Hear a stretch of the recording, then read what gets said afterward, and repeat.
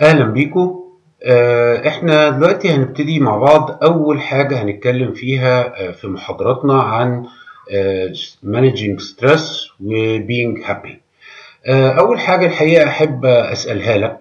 هي آخر مرة ابتسمت النهارده إمتى؟ سؤال آه، أعتقد مش سهل مش كده؟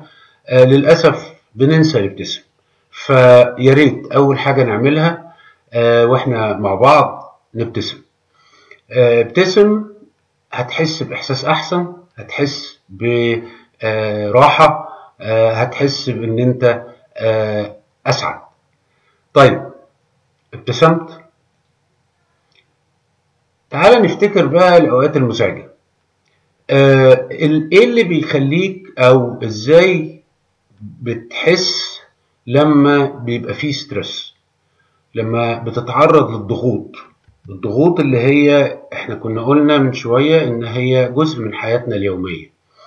لما بتتعرض لضغوط بتحس بإيه؟ يا ترى مثلا تحس إن أنت قلقان؟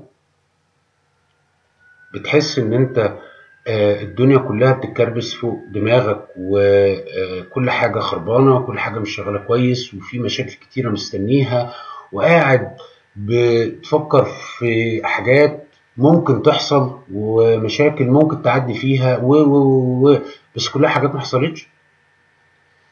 يا ترى لما بتبقى تحت ضغوط بيبقى سهل إن أنت تغضب وتتصرف بشكل مش مناسب تفقد أعصابك؟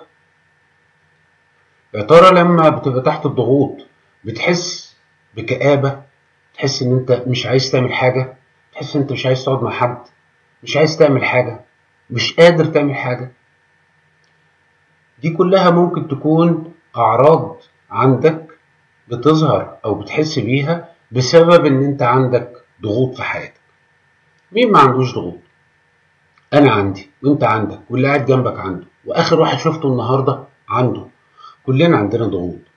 طيب لما الضغوط دي بتزيد علينا يا ترى جسمنا بيتصرف إزاي؟ مخنا بيتصرف إزاي؟ في أعراض تانية ممكن نبص عليها. أول حاجة إنك دايما عندك إحساس بالتعب. مش عايز مش قادر تعمل حاجة. مش مش عايز بقى. مش قادر تعمل حاجة. مش قادر تتحرك مكانك. عايز تنام. ولا بتحس إن أنت مش عارف تنام. تخش السرير دماغك تقعد تلف تفكر في مليون حاجة. مش قادر تسترخي وتخرج من المود بتاع التعب وتدخل في النوم. ولا عندك مشاكل في معدتك عندك قولون عصبي عندك عسر هضم قاعد بتحس بمغص من غير لازمة أو من غير سبب. ده أعراض. ممكن الصداع الصداع كتير بيبقى واحد من أعراض الإجهاد واحد من أعراض الضغوط اللي إحنا بنتعرض ليها. يا ترى بتحس بصداع؟ يا ترى حالتك ال- الجسمانية تعبانة من غير سبب واضح بتجيلك مشاكل صحية كتير من غير سبب واضح. طبعا مشاكل صحية أنا مش بقول كلها ليها علاقة بالضغوط لكن كتير قوي في حياتنا لما بنتع... بنتعرض لضغوط جسمنا بيستجيب للكلام ده عن طريق إن, إن إحنا نعي ونرقد. ده بيحصل لك؟ يا ترى تيجي تركز في شغلك تيجي تركز في حاجة بتدرسها حاجة عايز تتعلمها حاجة عايز تعملها بس محتاج إنك تحط فيها مخك شوية. مش قادر؟ كل ده أعراض واحد من الأعراض المشهورة جدا للضغ- للضغوط اللي بنعيش فيها ومن ال- ال- المشاكل اللي بنقابلها في حياتنا إنك ما تعرفش تركز. طيب عايز تاخد قرار في حاجة ومش عارف في حاجة اسمها decision paralysis. كلنا ساعات بنعدي بيها. لما بتبقى عندك ضغوط لما تبقى عند على عليك اجهادات كتيرة تيجي تاخد قرار بحاجة مش عارف. يا ترى في تغير في رغبتك في الأكل زادت قوي أو قلت قوي؟ في الحالتين في حاجة غلط. يا ترى ما بقتش صابر على حاجة اللي انت عاوزه؟ عاوزه دلوقتي مش قادر تستنى مش قادر تصبر على إن الحاجة تجيلك كمان شوية أو تحصل كمان شوية تطلب الأسانسير تلاقيه في الدور الخامس يقول لا أنا هطلع على رجلي أسرع. يا ترى بتهمل في شكلك بتهمل في هندامك بتهمل في نظافتك الشخصية؟ عندك ميل لكده؟ مش عايز تغسل سنانك بالليل؟ لا يا عم أنا هخش أنام وخلاص بقى بلاش وجع دماغ. عندك حاجة من الحاجات دي؟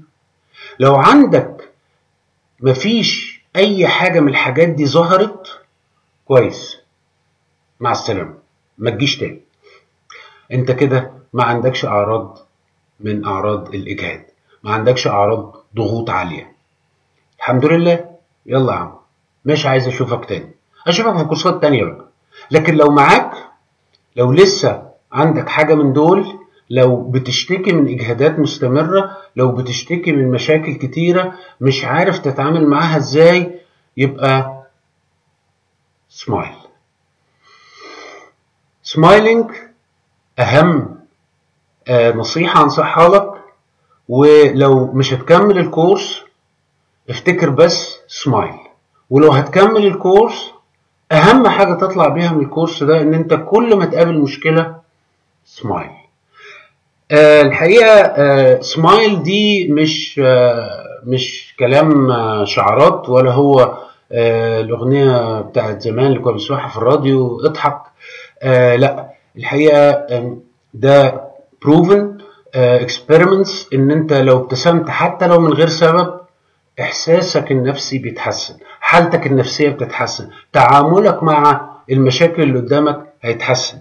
فلو هتاخد نصيحة واحدة بس من الكورس ده ابتسم. لو عايز تسمع حاجة تاني نتقابل في الكورس في المحاضرة الجاية إن شاء الله.